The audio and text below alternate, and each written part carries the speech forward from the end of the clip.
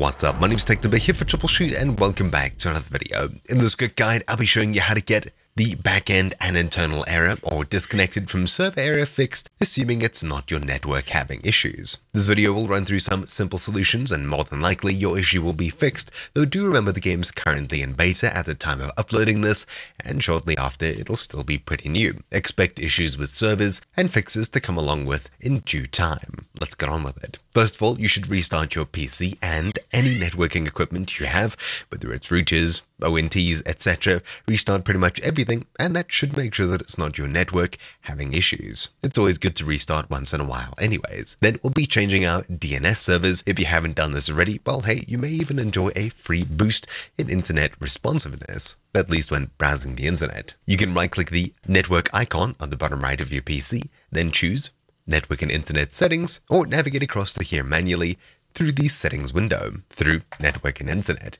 Then we'll choose Ethernet, or if you're on wireless, wireless. We'll choose Private Network. Obviously, if you're on a private network, as in not public Wi-Fi, then we'll scroll down a little bit looking for here, DNS Server Assignment. We'll click Edit, then enable IPv4, and for preferred DNS, we'll be entering 1.1.1.1. Then alternative 8.8.8.8. The first one is Cloudflare's, and the second one is Google's DNS, and they're usually pretty good. Personally, I find Cloudflare's is a little bit faster. You'll get these options by simply choosing Manual from the drop-down here if you don't already see them. Then click Save, and your internet connection may drop for a few seconds while it's reconnecting.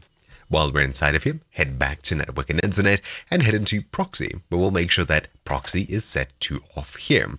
Same goes for VPN. Make sure you don't have a VPN connected at the moment. And of course, if you do have a VPN, well, hey, it's worth a shot testing to see if having it connected actually fixes your issue. A little bit counterintuitive, but if you have a VPN server near to you and you already pay for a subscription, well, hey, give it a shot, see if it fixes your issues. Assuming you're still having issues, we can close out of our settings window here, hit start, type in firewall, and open the Windows Defender firewall settings. Inside of here, we'll head across to allow an app or feature through the Windows Defender firewall. These features are blocked as I have a third-party antivirus with a firewall built in. If so, you'll need to allow the app through there. Giving you an example with my laptop here, allow an app or feature through the Windows firewall, then change settings, click yes if prompted, and inside of here, you'll simply be locating Darktide. If you don't see it, click allow another app, then we'll be selecting it from the list of apps here, otherwise click Browse and navigate across to the exe file. Inside of Steam, right-click the game here, Manage Browse Local Files, then open the Binaries folder and we'll be adding darktide.exe here. Then when you've added it to the list, make sure that both of these tick boxes are checked, private and public, next to Darktide. What next? Well, let's try running Steam as admin. In the top left, click Steam, then Exit, and when you're searching for Steam, or using the icon, right-click and choose Run as Administrator.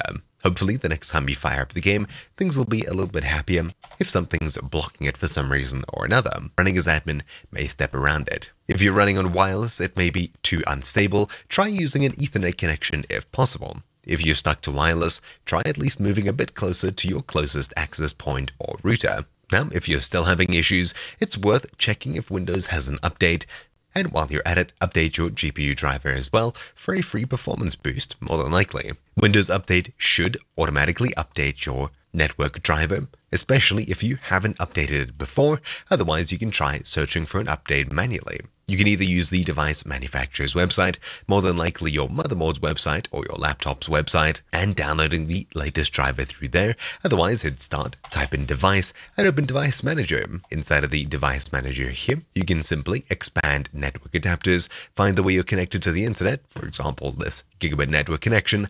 I can right click, click update driver, and that'll simply scan the internet and Windows Update for an updated driver that it'll then install.